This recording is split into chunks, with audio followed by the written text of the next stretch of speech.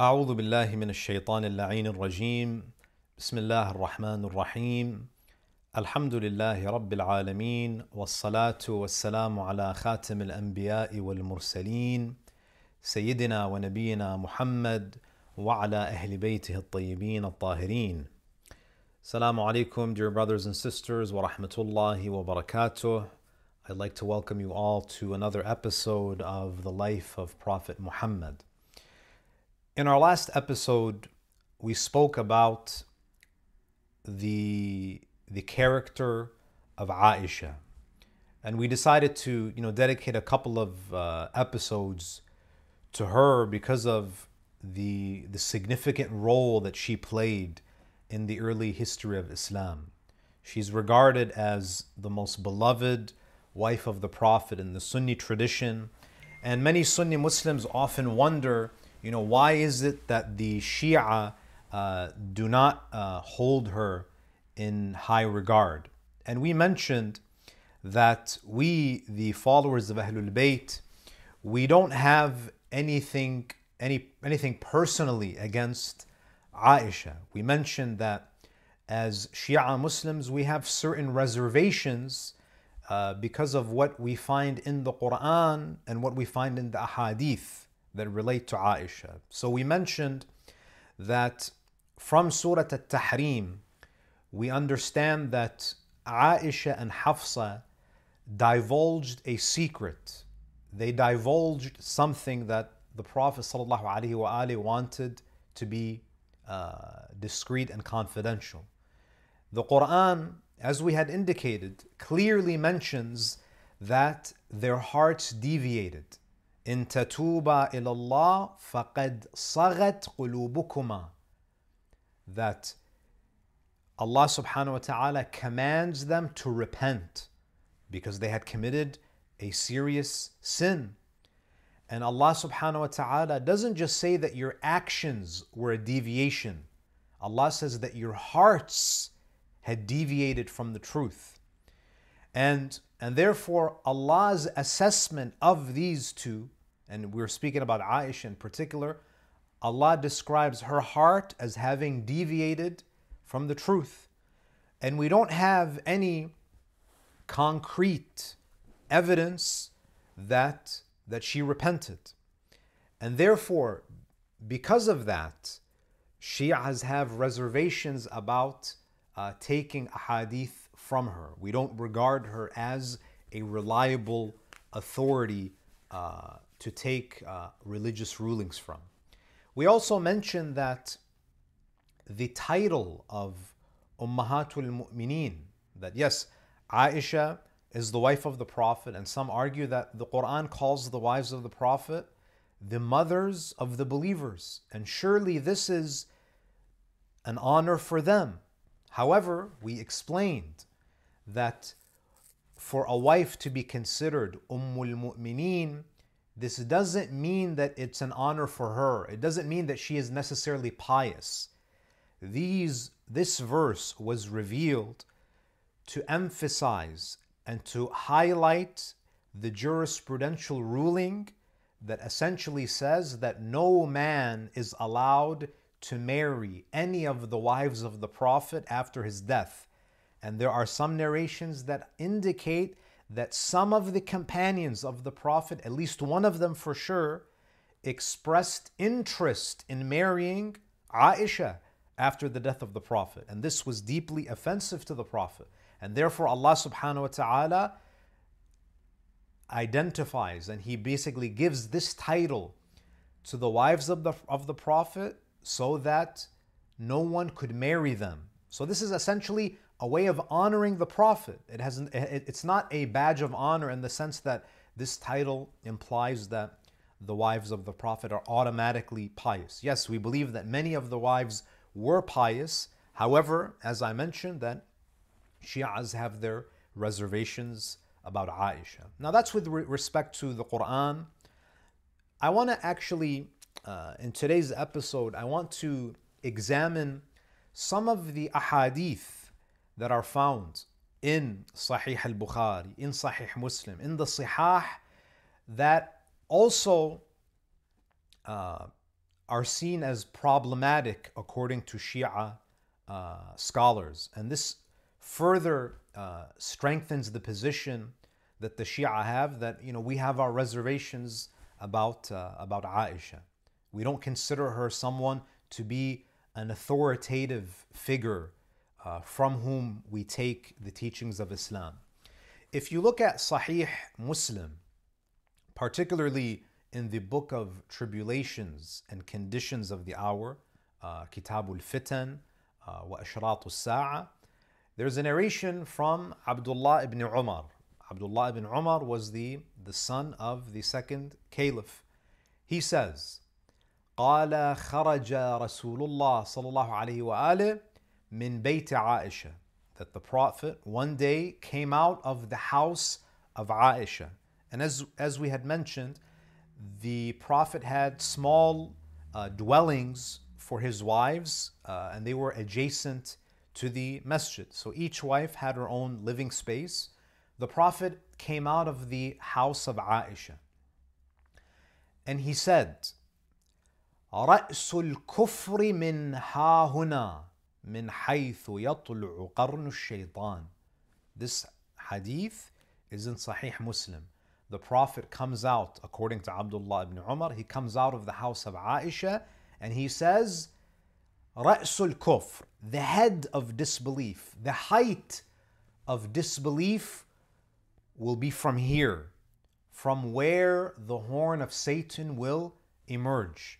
So, based on this hadith, it seems that the Prophet is referring to Aisha. He's referring to that house, which is a house that is the height of disbelief, which is from where the horn of Satan emerges. So, this is one hadith. And, and I'll, I'll share with you uh, the explanation and, uh, that Sunni scholars have put forward to, uh, to exonerate Aisha. So that's what Sahih Muslim says. In Sahih al Bukhari, again, Abdullah ibn Umar, he says, قام النبي صلى الله عليه وآله وسلم خطيبا. One day, the Prophet stood to speak, to deliver a speech. And in that speech, Abdullah ibn Umar says, فَأَشَارَ نَحْوَ مَسْكَنِ عَائِشَةَ He gave a speech and he pointed in the direction of Aisha's home. And he said, هُنَا الْفِتْنَةِ Here, from here is the fitna. From here is the fitna. And he repeated it three times. هُنَا الْفِتْنَةِ هُنَا الْفِتْنَةِ هُنَا الْفِتْنَةِ من حيث يطلع قرن الشيطان this is the place of fitna. This is the place of fitna. This is from where the horn of Satan shall come out. Now you may wonder if these narrations exist in Sahih al Bukhari, in Sahih Muslim, why do Sunnis still consider her to be the most beloved and the most pious wife of the Prophet? Isn't this a clear indication that the Prophet is referring to Aisha? Now, the, the justification that is put forward, if you look at the, the commentaries of Bukhari, whether it's by uh, Ibn Hajar or it's Al Nawawi in his commentary of uh, Sahih Muslim, they say that the Prophet was referring to Najd. He was actually referring to the Far East the territory of Najd, and he wasn't referring to Aisha's home per se. The, they say that the house of Aisha just happened to be situated on the eastern side of the masjid, and the Prophet ﷺ was pointing eastward. And he wasn't pointing at the at the house of Aisha. You know, the narrator may have misunderstood or he was pointing in the direction of the east, and her house just happened to be on the eastern side of the masjid. And they say that the evidence for this is found in other narrations where the Prophet uses similar language. So, for instance, in Sahih al Bukhari, on the chapter of earthquakes and other signs of the Day of Judgment. Again, عن ibn Umar, Abdullah ibn Umar, he says that the Prophet ﷺ once said, قال اللهم بارك لنا في شامنا وفي يمننا. Abdullah ibn Umar, he says that the Prophet once made a dua. He once made a supplication saying, O Allah, bless our Sham, meaning bless Damascus and the people of Damascus, and bless Yemen and the people of Yemen. Now, of course, you know, I have my, uh, I'm skeptical of, uh, of these narrations because you get a feeling that these narrations were probably, uh, possibly fabricated by the Umayyads to give more importance to Sham because Sham was a stronghold for the Umayyads. In any case, the Prophet prays, he, he says, Oh Allah, bless our Sham, bless Damascus, and bless Yemen. Now, some of the companions of the Prophet, especially those who were uh, from among the Bedouins, they said to the Prophet, وَفِي نَجْدِنَا Our Najd as well, and Najd is, you know, in the, uh, the east. So they're basically saying to the Prophet, you know, pray for Najd as well, just like you're praying for Sham and Yemen, pray for Najd. And then the Prophet again, he ignores them and he says, Allahumma barik lana fi shamina wa fi yemenina.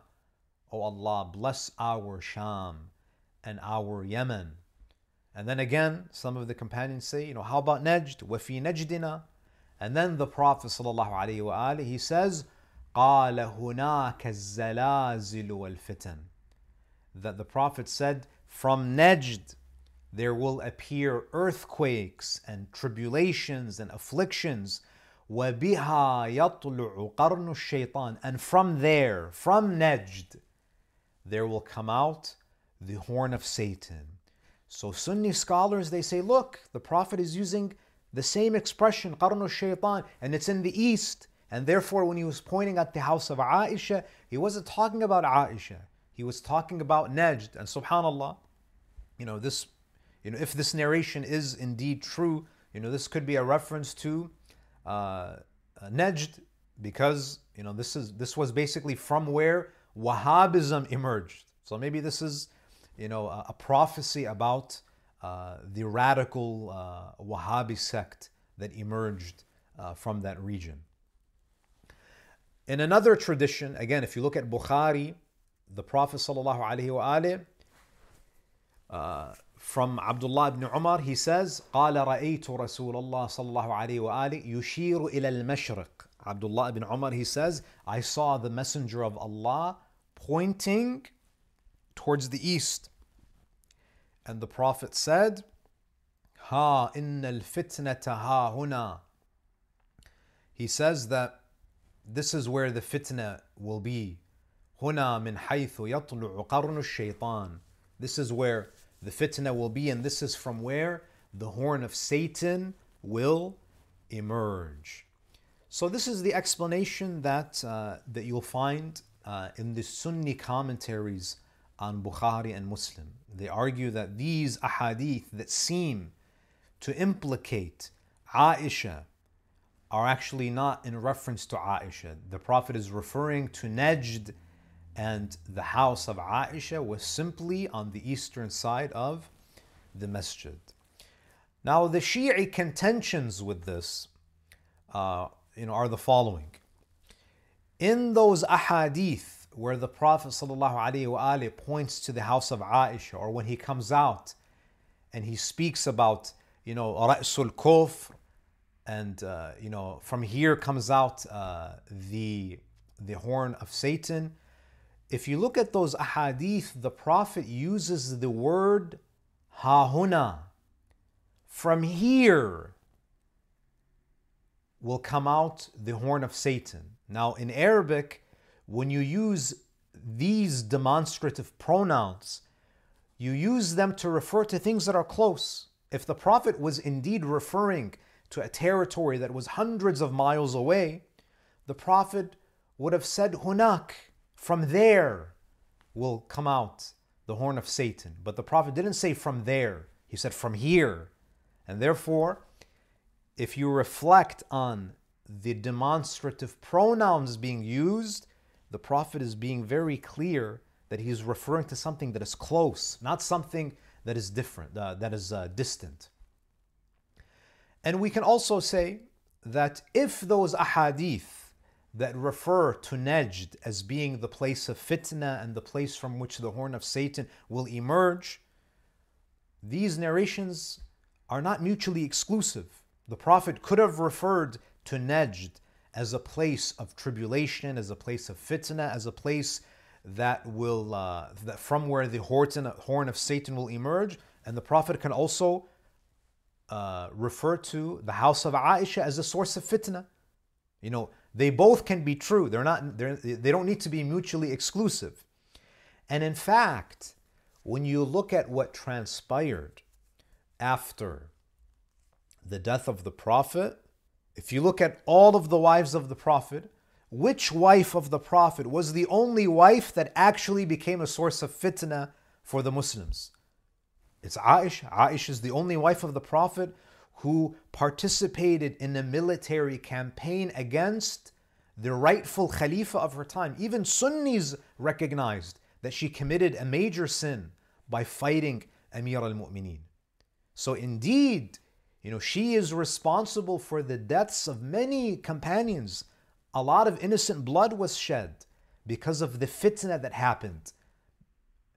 Many people lost their lives in the, the Battle of Jamal. So the historical records show that Aisha was indeed a source of fitna after the death of the Prophet. She waged a war against the commander of the faithful. Thousands upon thousands were killed in that battle.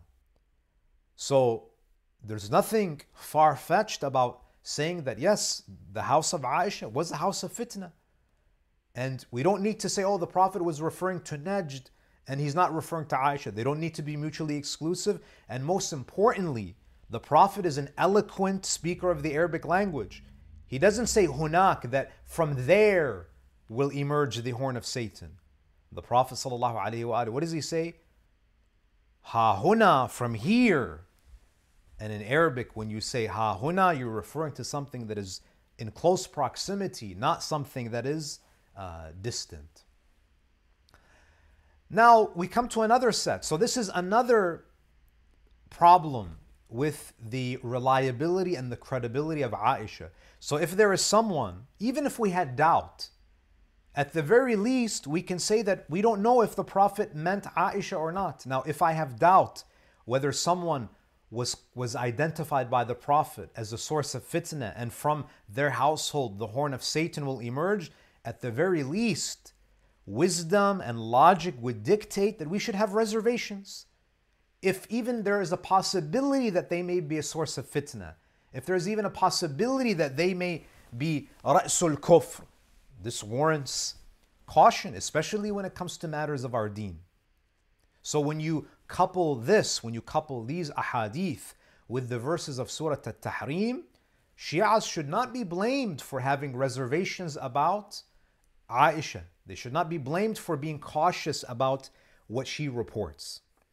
Furthermore, when you look at Sahih al Bukhari, there, there are some narrations that report an incident that took place whereby the Prophet rebukes Aisha by calling her one of, by likening her to the female companions of Prophet Yusuf. Now, what is this incident all about? There are many narrations that mention this, but I'll just mention the narration that's found in Bukhari, at least one of them. So the narration says that the Prophet, ﷺ, according to the Sunni uh, version of the story, when the Prophet was, you know, was on his deathbed, he was too ill to lead the congregational prayers.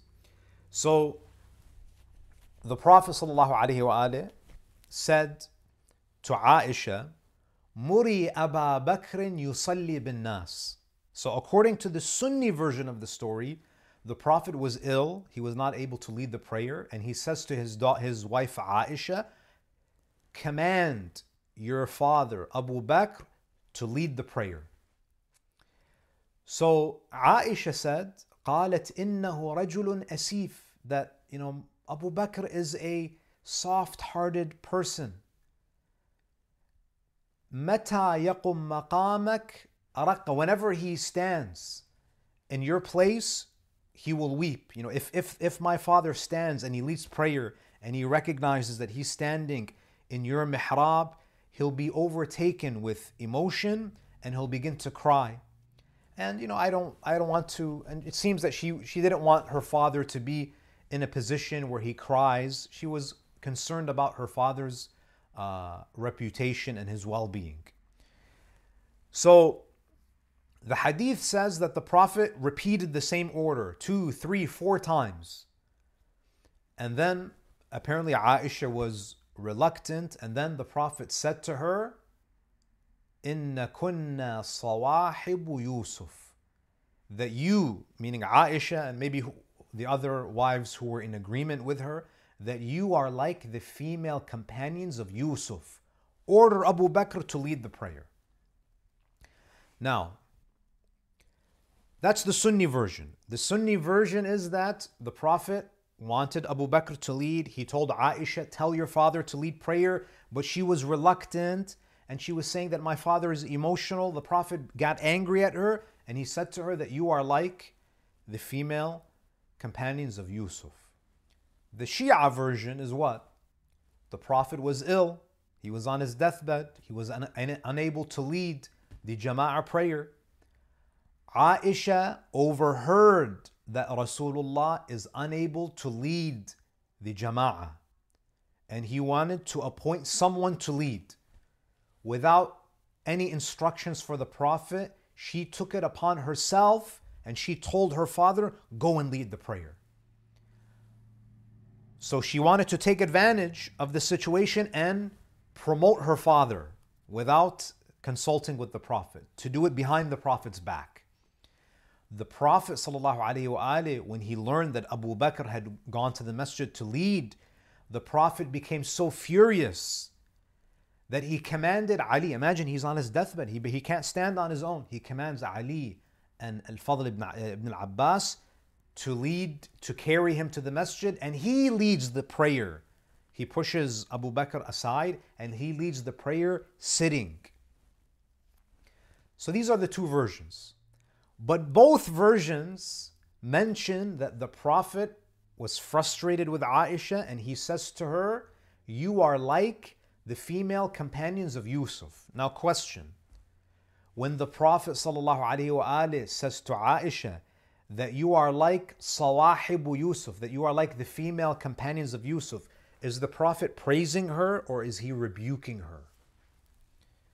To understand who, what, what is meant by the female companions of Yusuf, we have to go to the Quran. What does the Quran tell us about the female companions of Yusuf? In Surah Yusuf, verse 12, uh, Surah 12, verse 30, Allah subhanahu wa ta'ala, He says, وقال نسوة في المدينة امرأة العزيز عزيز تراود فتاها عن نفسه and the women in the city, they said, the wife of the Aziz, Zuleikha, the wife of the Aziz, is seeking to, re- to seduce her slave boy. You know, people were slandering, slandering her. They were shaming her because, you know, it was frowned upon in that society for a woman of status to be infatuated by a slave. قد شغفها حبا إنا لنراها في ضلال مبين. She has become impassioned he has impassioned her with love. Indeed, we see her to be in clear error. So they were criticizing uh, Zuleikha. So what does Zuleikha do? She invites them to the palace for a banquet. فلما سمعت بمكرهن أرسلت إليهن وأعتدت لهن متكأ. When she heard of their scheming, when she heard that they were blaming her, she sent for them and prepared for them a banquet. And she gave each of them a knife. And then she said to Yusuf, وقالت وقالت وقالت خرج عليهن. And she told Yusuf, come out. فلما رأينه أكبرنا. When they saw Yusuf, they admired him. They were taken by his appearance. وَقَطَّعْنَ أَيْدِيَهُنْ And they started to cut their fingers. وَقُلْنَ حَاشَى لِلَّهِ ما هذا بشرا إن هذا إلا ملك ملك كريم. They said that this is not a human being. This is a noble angel. They were mesmerized by his uh, his attractiveness. And this is where, where this is where Zulaykha says, قالت فذلك فذلكن الذي لمتني فيه that you were blaming me about being infatuated by this young man ولقد راودته عن نفسه and I certainly sought to seduce him فاعتصم but he refused ولئن لم يفعل ما آمره ليس ليسجنن وليكون من الصاغرين if he does not succumb and he does not uh, respond to me I will imprison him and he will be of those debased.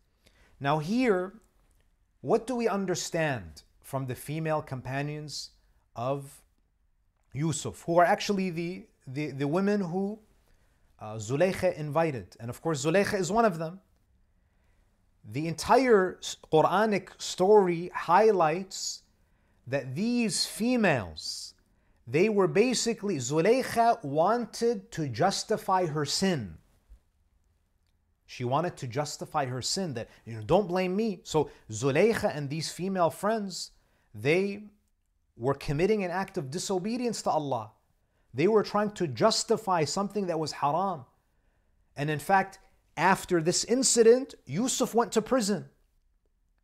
So you have Zulaykha and these females essentially justifying their sin against Yusuf. Now, Sunni scholars will say that what the Prophet meant when he said to Aisha that you are like the female companions of Yusuf is that in the same way that Zulaykha was trying to protect her reputation, Aisha was trying to protect the reputation of her father.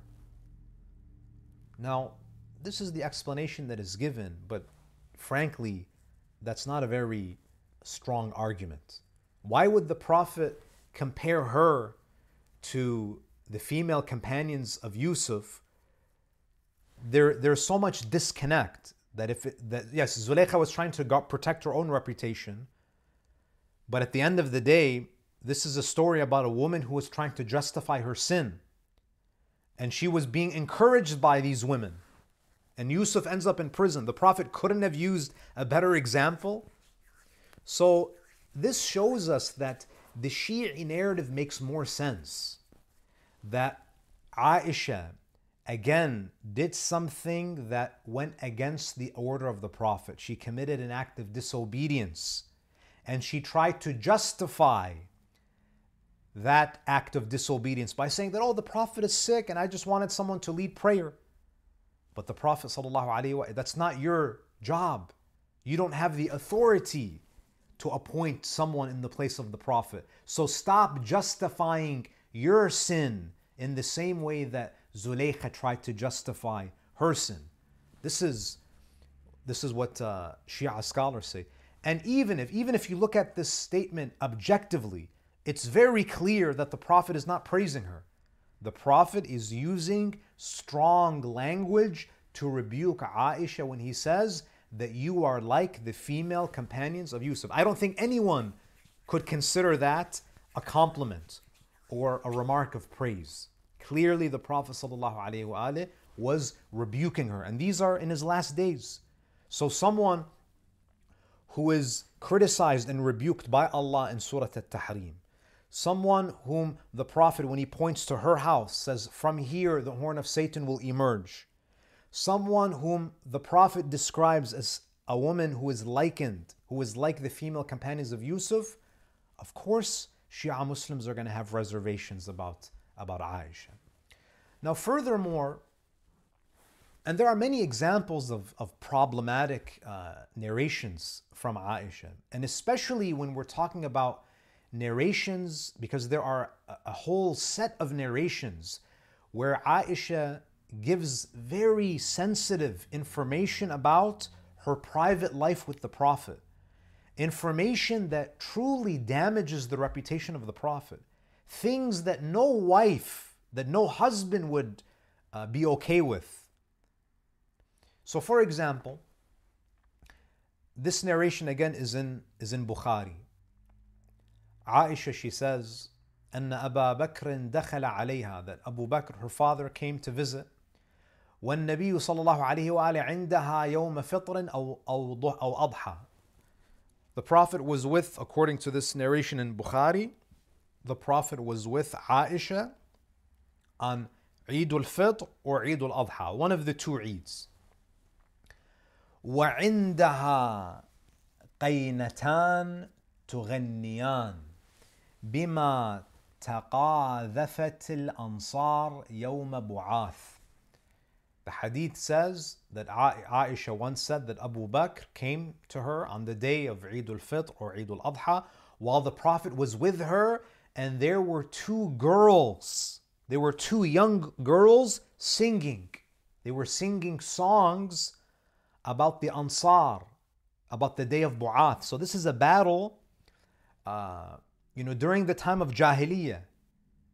So they're, they're singing about some battle that took place on the day of Bu'ath. Two young girls singing in the presence of the Prophet. Abu Bakr, he said, Mizmar shaitan, even Abu Bakr was shocked. He was saying musical, so there's musical instruments and women singing in the house of the Prophet. Abu Bakr is, he says, the musical, the instruments of shaitan, the instruments of shaitan.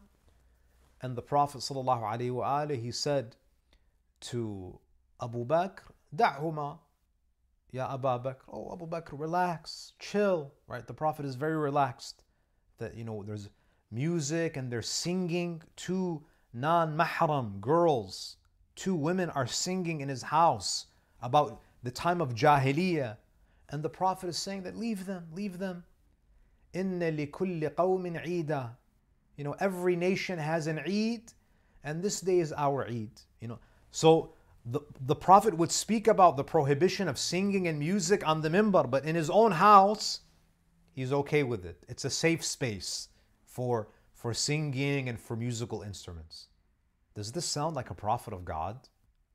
So this is this again is another one of those narrations that uh, that Shia Muslims uh, consider to be problematic because they they they diminish the, the dignity of the Prophet so much so that even Abu Bakr was, you know, saw it as problematic. There's another narration, and this is probably one of the most uh, insulting narrations to the Prophet. And again, as I mentioned time and time again, we don't have anything personal against any of these individuals. What we care about first and foremost is that the dignity and the honor of the Prophet is, is preserved. Because Allah says, وَإِنَّكَ لَعَلَى خُلُقٍ عَظِيمٍ That you are upon exalted character. So anything that contradicts and diminishes the magnanimous character of the Prophet, we categorically reject it on grounds that it contradicts the Quran. Now, this narration, and forgive me for having to mention this narration, but we have to make our position clear as to why we do not consider Aisha to be a reliable source of Islamic knowledge. The narration is in Sahih Muslim, and the narration is from Aisha. She says, إن رجلا سأل رسول الله صلى الله عليه وآله. Aisha says, she claims, and again I have doubts about this narration. She says that a man came to the Prophet and he asked the Prophet, عن الرجل يجامع أهله ثم يكسل هل عليهم الغسل So a man comes to the Prophet and it seems that he's asking about himself. He asks the Prophet, you know, what does a, a man do if he's being intimate with his wife and he's not able to finish? Basically, he's impotent. He's not able to, you know, finish all the way. So he's asking about intimacy. You know, I cannot reach climax, I cannot finish. The hadith from Aisha says that Aisha was sitting, so this man is asking the Prophet a very sensitive question about, you know, intimate relations with one's spouse, about his problem of his problem of impotency. And then, according to Aisha, the Prophet ﷺ, he responds to this man by pointing at Aisha and he says, Inni la'af'alu dhalik ana wa That me and this woman, pointing to Aisha, we do the same. That the same thing happens when I'm intimate with this woman. ثم نغتسل. so in this hadith, now, is there any man who has honor who would point to his wife and explicitly say that I have I have intimate relations with this woman, and the Prophet is also implying that I am also I also have problems of impotency. Allahu Akbar. Now, even if now I doubt the Prophet would ever say this, but as the wife of the Prophet, to share such a thing to the public where you're basically compromising the dignity of your husband. Imagine how any husband would react if his wife were to share this type of information with the entire ummah of the Prophet. This is very problematic, brothers and sisters. So, this is yet another reason why we have our reservations when it comes to this woman. There's a narration in Bukhari, and again, I'm just selecting a few. Otherwise, we would have to have tens of sessions on, on, on such narrations.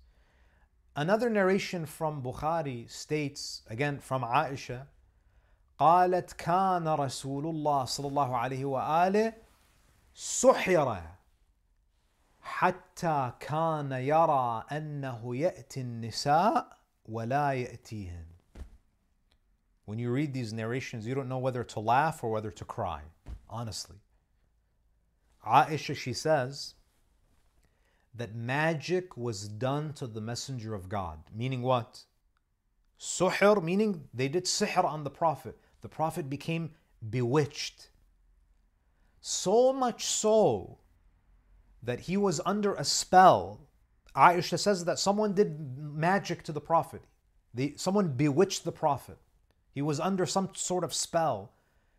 So much so that the Prophet used to think that he had sexual relations with his wives while he actually had not. Meaning, Aisha is saying that the Prophet became bewitched and he had no idea what he was doing. He was completely out of his mind. He was not aware of his actions. That he was bewitched.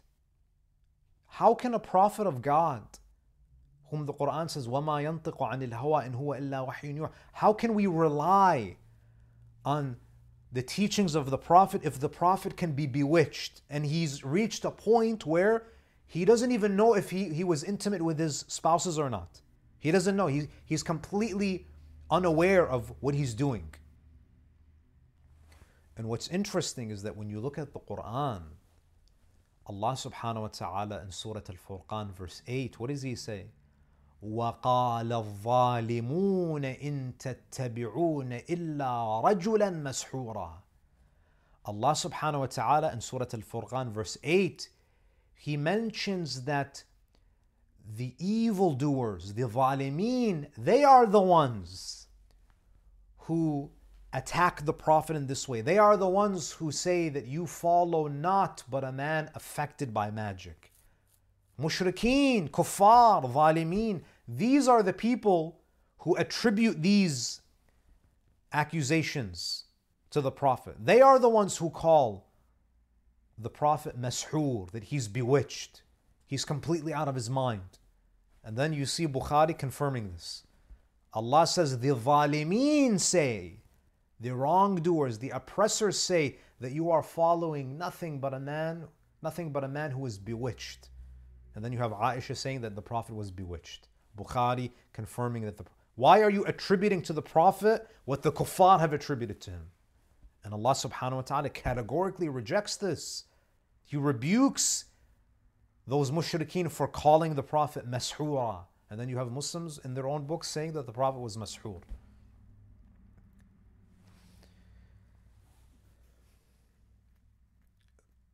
Again, there are other narrations that are also problematic because they describe the Prophet as a man who doesn't seem to have control over his desires.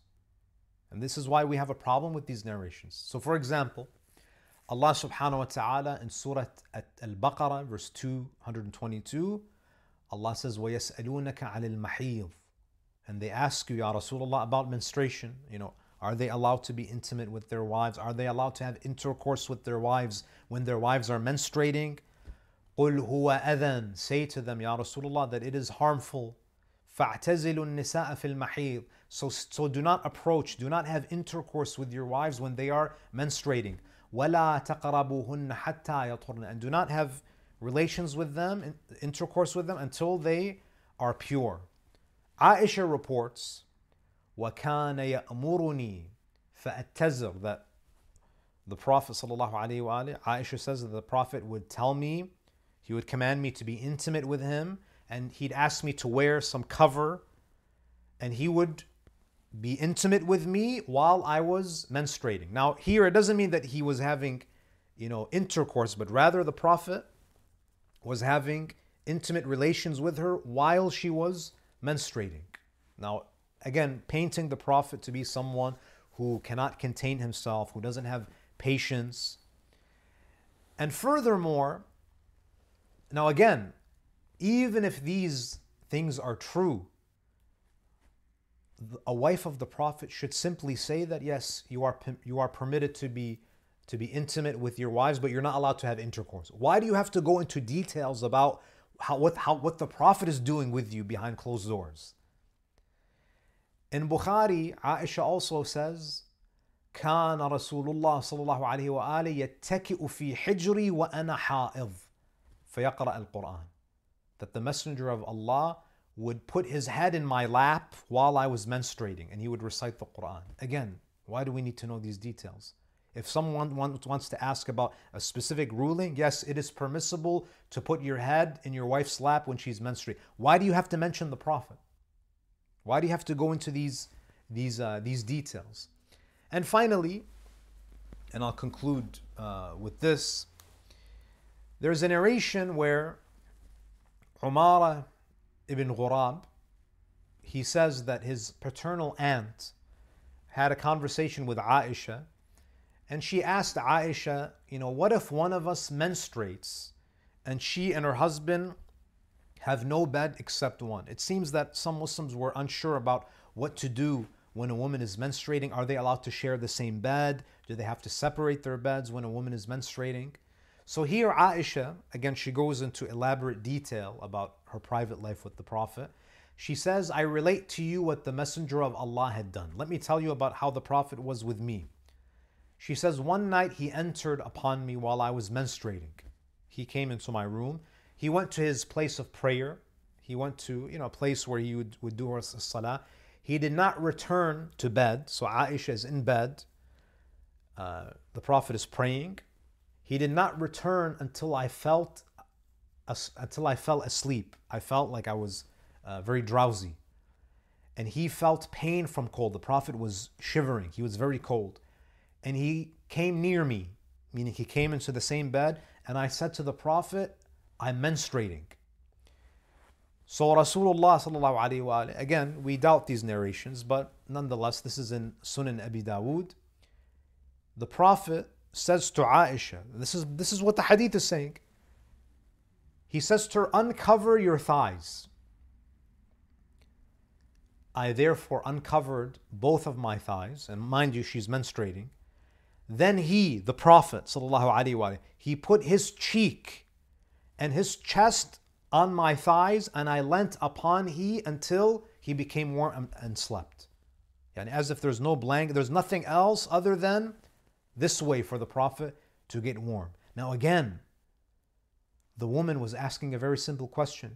She could have just said that, yes, it's permissible to share the same. The Prophet used to share the same bed with me when I was menstruating. Full stop. To go into all of this, if, if it's even true, and I doubt that it's true, that the Prophet ﷺ would conduct himself in this way. Again, this is sensitive, private information between a man and a wife. To make this public knowledge again is damaging to the reputation of the Prophet.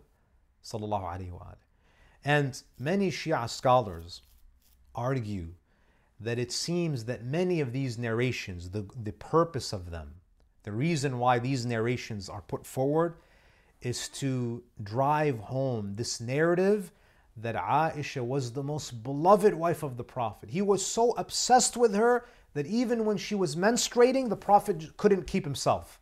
He couldn't keep his hands to himself. He had to be around her. He was obsessed with her. But of course, this is doubtful. And in a nutshell, my dear brothers and sisters, to summarize, Aisha was a wife of the Prophet. However, based on what the Quran has said in Surah Al Tahrim, based on the numerous ahadith that we covered, Shias are justified in being in having reservations about uh, this particular wife, and therefore they feel that it is better for them to take the teachings of Islam from more reliable sources like Sayyidah Fatima, like Amir al Mu'mineen, like Hassan Hussein, the Ahlul Bayt, whose purity has been confirmed in Ayatul Tathir. The purity, the, the righteousness, the, pi- the piety of Aisha has not been confirmed because Surah At Tahrim clearly says that her heart deviated. We don't have any evidence of her tawbah. We have all of these problematic ahadith. So, anyone who is serious and who is cautious about their deen should definitely take their uh, religious teachings from more authoritative figures whose piety is endorsed and confirmed by Allah subhanahu wa ta'ala. Inshallah, in our uh, upcoming episodes, we'll continue uh, with the, uh, the seerah of the Prophet. We'll speak about uh, the events leading up to the, the battle of uh, Al-Ahzab. واخر دعوانا الحمد لله رب العالمين وصلى الله على محمد واله الطاهرين. اللهم صل على محمد وآل محمد. uh, thank you for the lecture, Sheikh. And uh, a question. Um, so the question is like I understand that Bukhari and uh, Muslim are just a collection of hadiths, and that in some, and I believe that in some of them are the some of the hadiths are weak and some are strong. How strong are the hadiths that have been quoted today? So it's important to remember that from from the, a Sunni perspective, there are no weak traditions in Bukhari and in Muslim.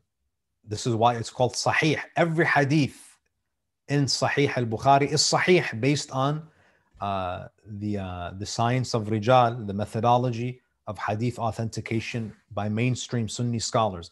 Now, you might have you know some scholars here and there who have doubts about particular narrations, but by and large, uh, the narrations in Bukhari and in Muslim are not considered weak by Sunni scholars. So we present them today as as evidence against them, as a hujjah against them, because they consider it to be authentic. We say based on these narrations that you deem authentic, this is why we have our reservations about Aisha. So none of the narrations that I mentioned would be considered weak uh, by uh, by mainstream Sunni scholars.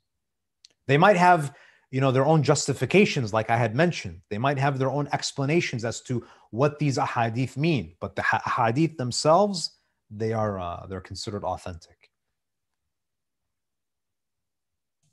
And I have uh, heard claims that Surah Falaq was revealed to dispel magic that was cast upon the Prophet. Uh, could you please comment on this a bit? Now, as for the details, I would have to look at the tafsir, but yes, there are some narrations that uh, that indicate so, narrations in in Sunni hadith sources that that suggest that the Prophet was bewitched, as we saw in the narration from Aisha, and uh, you know they believe that he was not immune from uh, from that type of uh, witchcraft and sorcery but uh, but beyond that i would have to look at the the, the tafsir to find the the, the detailed uh, story relating to surah al-falaq. But yeah if you look at uh, many ahadith there are uh, narrations that that highlight that. And and as i mentioned the, the reason why that is very problematic is that if the Prophet is susceptible to that type of sorcery, then who's to say that uh, that what he's saying is actually the word of Allah subhanahu wa ta'ala. Who's to say that we are receiving uh, reliable guidance from the Prophet? So you essentially cast doubt on the Prophet's credibility and uh, his effectiveness as a as a guide. The moment you say that you know he was affected by magic or he was bewitched. So then, would it be accurate to say that the these claims about Surah Falaq being revealed to dispel magic on the Prophet that those are not generally accepted by Shia scholars? Yeah, yeah, they're not. They're not. Okay. And uh, but the hadith about uh, Prophet Yunus's uh, female companions. Prophet uh, Yusuf? Maybe, yeah, Prophet Yusuf. Prophet Yusuf, sorry. Uh, maybe this is just like a bit of a translational quirk, but it feels odd to call the women in that story companions because they weren't really companions. They just kind of were in a room when he was called in. Uh, yeah, yeah. I mean, comp- and companions doesn't necessarily mean uh, friends. They were, you know, they had just happened to be there. There was a, a, so, a group that happened to be uh, at, the, at, at the same uh, in the same place at the same time. And this is this is one of the Shi'i contentions that sahib uh, does not uh, denote uh, piety. It does not even mean that they have the, sh- the, this, the a shared uh, belief system. In, in the story of uh, Prophet Yusuf, قال يا صاحبي السجن. You know, so Yusuf calls the two uh, inmates with him his two companions. Now, of course, that doesn't mean that they're friends and they're buddies. They just happen to be in the in the same cell. So with uh, so sahib doesn't necessarily mean that there's a relationship, a friendship. It just means that they are they were acquaintances. They were together uh, at a certain time or in a certain place. But it, but in that particular story, what is significant, what is relevant, is that they all were conspiring and coordinating to uh, to commit a sin, meaning that they were justifying each other's wrongdoing.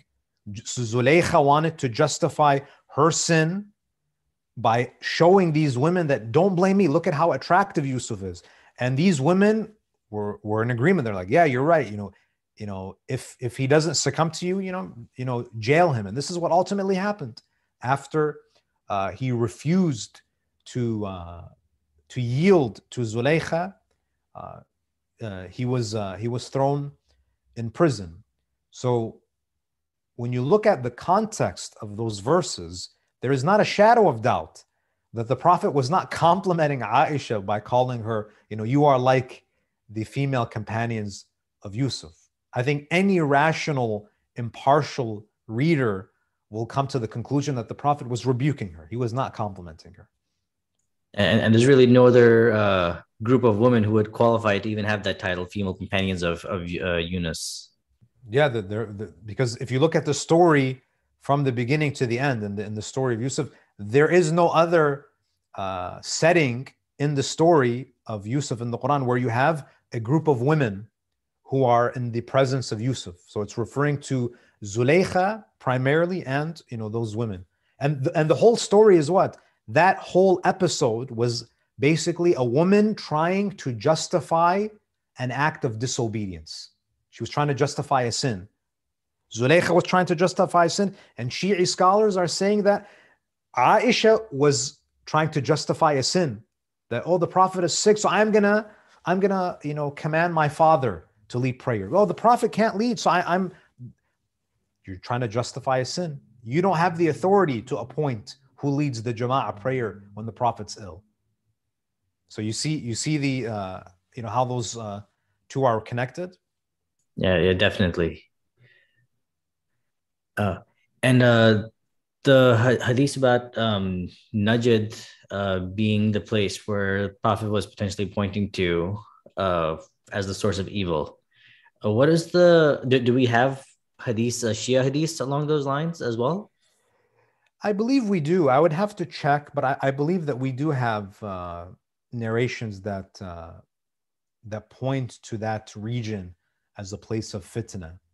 And, uh, and some Shia scholars uh, would argue that, that uh, one of the manifestations, one of the fulfillments of that prophecy is, you know, the, the, uh, the rise of Wahhabism So uh, that could be one manifestation of that uh, one prophecy that was was fulfilled. But who knows? Maybe in the future we will continue to see fitna from that region, and and one could even argue that we're seeing we're seeing fitna from that region today. You know, Najd is is uh, is a place that is basically uh, modern day Saudi Arabia, and you know we live in a time where the number of Hujjaj have been restricted because of COVID, but when Mohammed bin Salman wants to kind of you know uh, hold a concert, no, there's there's no limit to how many people can attend.